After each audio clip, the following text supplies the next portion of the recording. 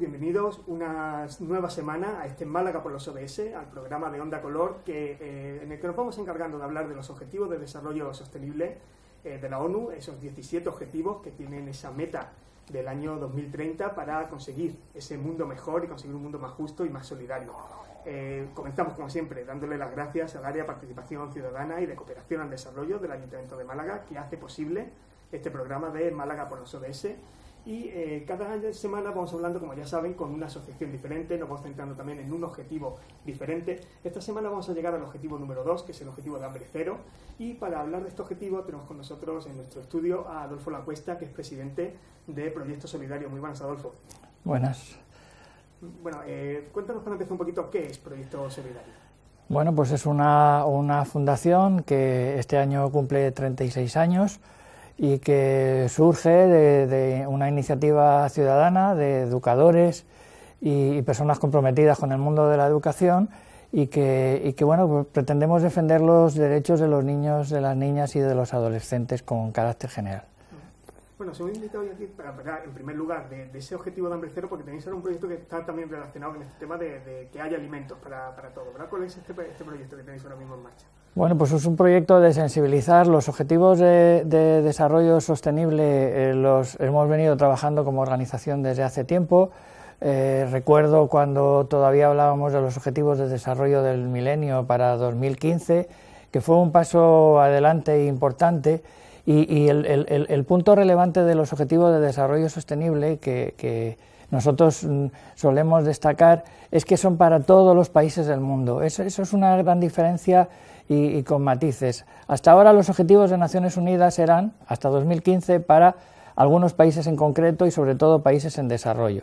Cuando entran los ODS, que conocemos ahora, este compromiso es para todos los países del mundo. Y eso marca un antes y un después importante porque yo creo que desde una visión en perspectiva, como la que tiene Naciones Unidas, pues todos pretendemos llegar a una serie de metas, algunos estamos más cerca de esas metas, otros países están un poco más alejados, pero hay un trabajo colectivo importante que, creo que merece la pena destacar.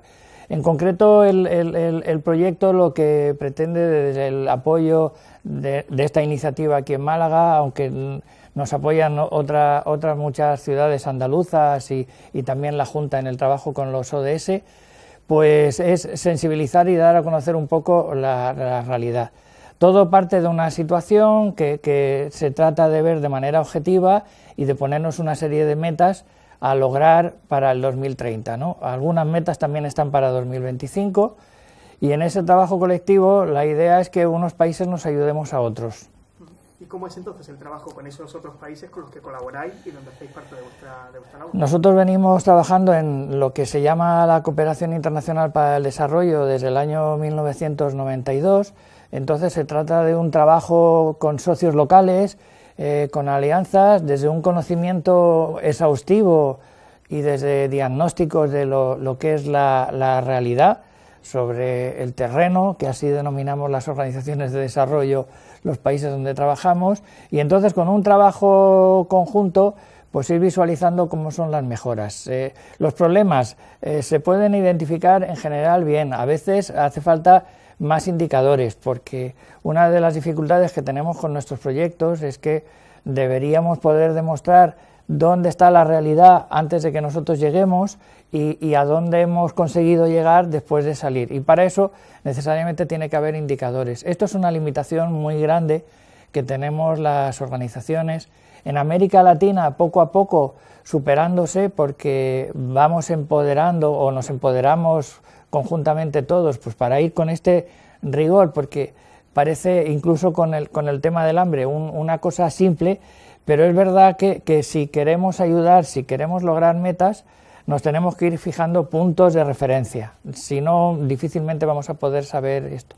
Sin embargo, en África, ahora estamos promoviendo un proyecto en Etiopía y que tiene que ver también con este ODS, eh, nos resulta muy dificultoso porque no, no, no tenemos datos, eh, nos cuesta trabajo identificar las zonas prioritarias, que es otro asunto importante, no en todos los países, en todo el territorio la realidad es la misma. Y bueno, yo creo que, tenemos que ir trabajando y lanzando estos mensajes de, rigor que, yo, que, creo que es importante que para la, ciudadanía lo sepa.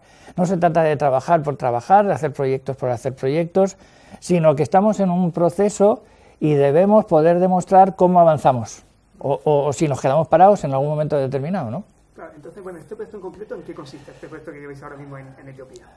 Eh, el, proyecto de Etiopía vamos a trabajar en temas de educación. El proyecto solidario tiene, mm, como cinco líneas en, defensa de, los derechos de los niños y de las niñas. La más importante y en la que más hemos trabajado es la educación de calidad e inclusiva, que responde a, a uno de los artículos de la Convención de los Derechos del Niño.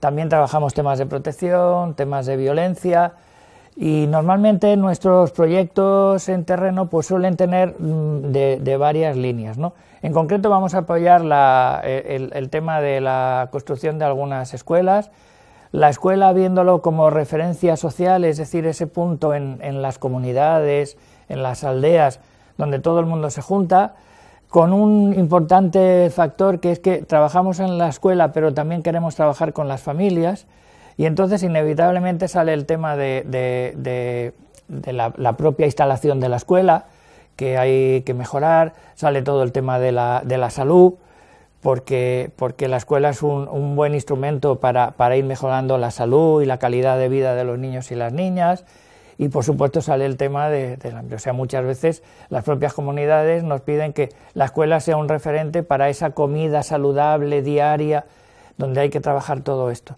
De manera que, nuestro proyecto en, Etiopía que, que, estamos preparando pues pretende esto. ¿no? Luego tenemos otro trabajo que lo hacemos con el Ayuntamiento de Málaga de sensibilizar sobre esa realidad que muchos de nuestros proyectos aquí son de sensibilización, donde hacemos talleres, hablamos con la ciudadanía porque, insisto, es importante que la, gente vea posible el, poder ayudar, porque muchas veces el, el mensaje es, bueno, mandando dinero se arreglan los temas. No, si uno solo manda el dinero, hay que, hay, que articular acciones. ¿no? Sí, Luego, nos centramos también en esa parte de, sensibilizar, de llegar a la población.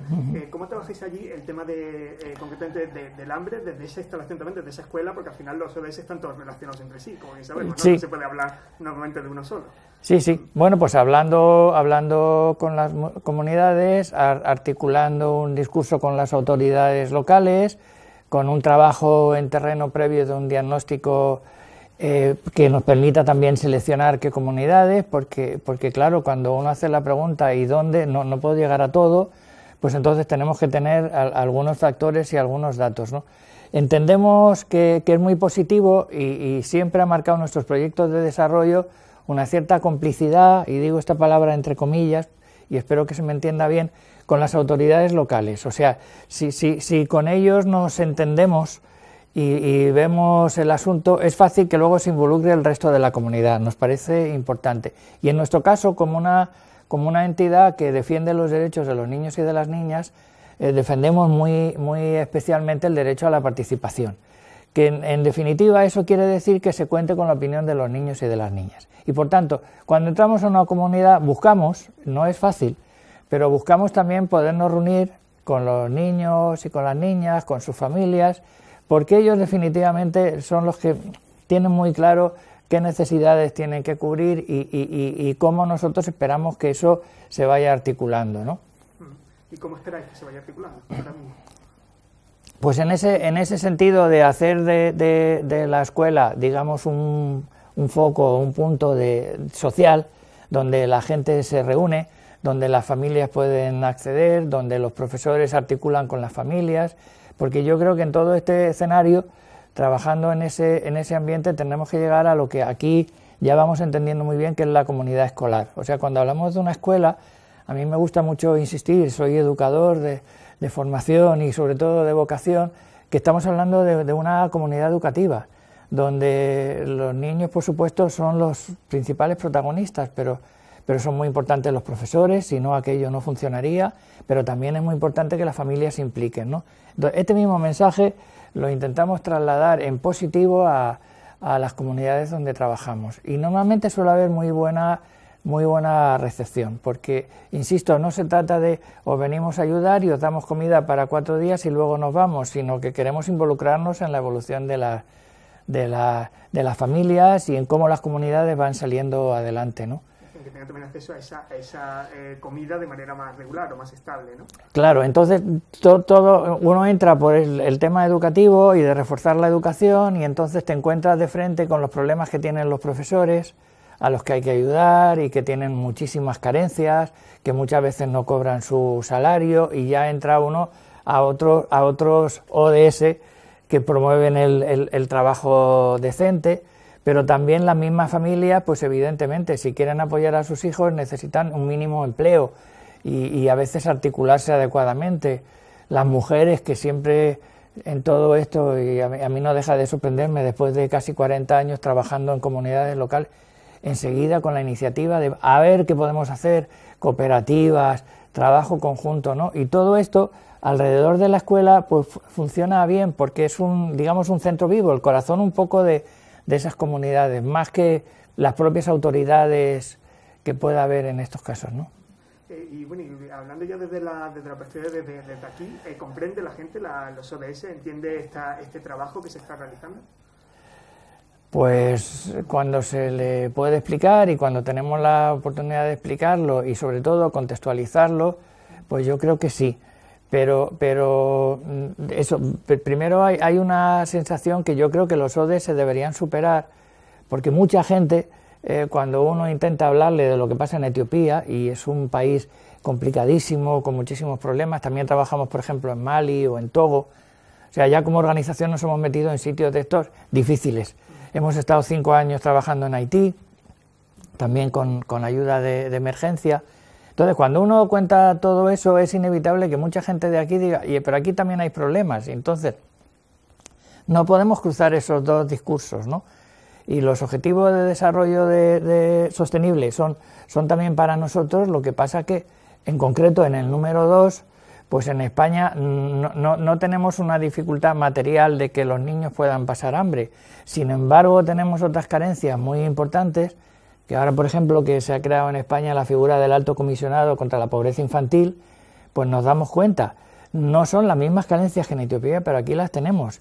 Y, muchas veces no son tanto de alimento físico, o sea, el que un niño o una niña no pueda acceder a, un equipo de fútbol a entrenar, pues porque no tiene para el autobús o porque, o porque no, no tiene para comprarse unas botas y no quiere ir con sus tenis de, rigor, eso, eso también tiene que ver con las carencias, no solo materiales en cuanto a comida, que yo creo que el, ODS 2 se dirige sobre todo a eso, sino a ese otro tipo de carencias que marcan mucho, porque, porque igual que el hambre marca el hambre física, digamos, de, de, alimento, eh, deteriora la salud, deteriora la salud mental, no solo la física, todo esto, la carencia de, otras, de otros estímulos también deteriora a, las personas cuando se hacen adultos, ¿no? Eh, y además, eh, bueno, que, estamos viendo como esta situación se ha empeorado mucho con la pandemia de coronavirus, con la, eh, toda la pobreza que ha traído asociada y parece que hemos dado incluso pasos hacia atrás, ¿no? Cuando hablamos de muchos, muchos colectivos. ¿Cómo, es la situación ahora? Pues muy, muy crítica, porque, porque realmente veníamos de, de situaciones, se supone, favorables a nivel económico o de contextos donde parecía que todo iba creciendo y sin embargo la pobreza seguía creciendo. Ahora mismo somos el tercer país por la cola en Europa con índices de, pobreza y bueno, y, han surgido, y que yo creo que son elementos interesantes, hay una tasa a nivel europeo donde mide diferentes elementos y entonces ya hemos superado la situación, o sea, hambre física, eh, no, no se tiene y sin embargo estamos viendo muchas carencias. Y una cosa importante y es cómo la pobreza o las necesidades o la falta de empleo de los padres o de las madres lo que está generando es una exclusión importantísima.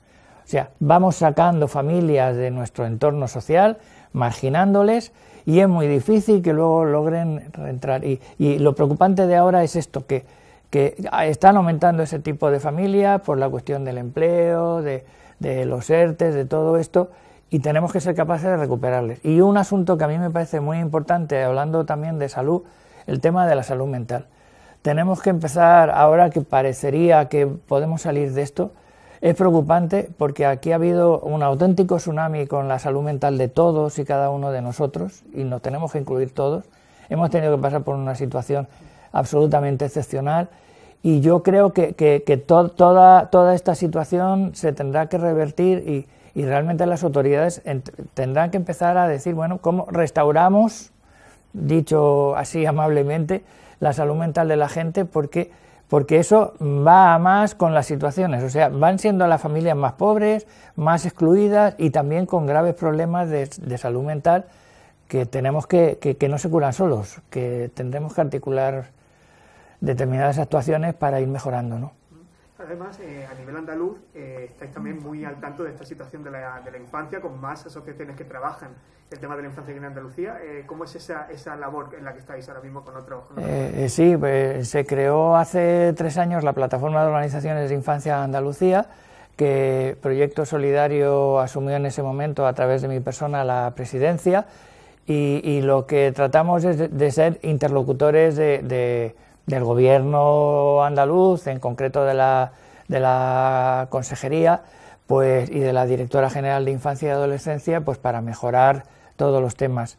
Se acaba de aprobar el año pasado una nueva ley de infancia y adolescencia en Andalucía, muy importante porque va a venir a resolver problemas eh, que son urgentes, pero claro, como todas las leyes, y eso la gente tiene que saberlo, las leyes se, se plantean, se aprueban en el Parlamento andaluz y luego hay que desarrollarlas. En, ese, en esa tarea, pues sí estamos comprometidos, muchas de las organizaciones que están en la plataforma, por supuesto también Proyecto Solidario, porque entendemos que es una labor de todos el ir desarrollando esto y mejorando todos estos problemas.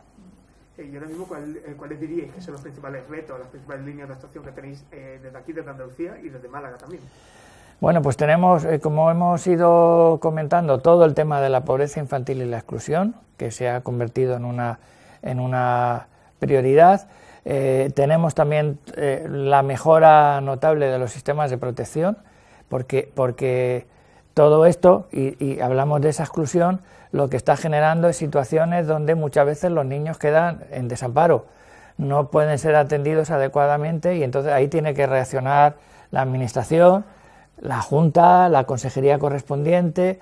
Entonces tenemos que reforzar mucho todo eso porque los niños por ley tienen derecho a una protección especial cuando la familia no se la puede dar y tenemos que articular porque en ese, en ese sentido lo que no podemos es llenar centros de, de acogida de menores que no pueden estar con sus familias, se está promoviendo mucho todo el tema de las familias acogedoras, que es una, una figura que Proyecto Solidario ha venido apoyando durante mucho tiempo.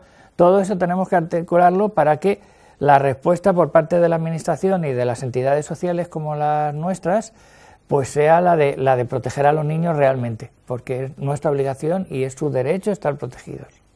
Pues con esa idea nos vamos, nos vamos a quedar, ya tenemos que concluir este programa de hoy. Muchísimas gracias a Adolfo Lacuesta, que es presidente de Proyecto Solidario, por habernos acompañado en este programa de hoy, haber hablado de ese objetivo 2 y también de otros objetivos que estaban muy relacionados con, con vuestra labor. Muchísimas gracias. Y nosotros eh, volveremos eh, la semana que viene con una nueva entrevista, con más objetivos y con unas asociaciones para seguir andando en este tema de los objetivos de desarrollo sostenible. Muchas gracias. Gracias.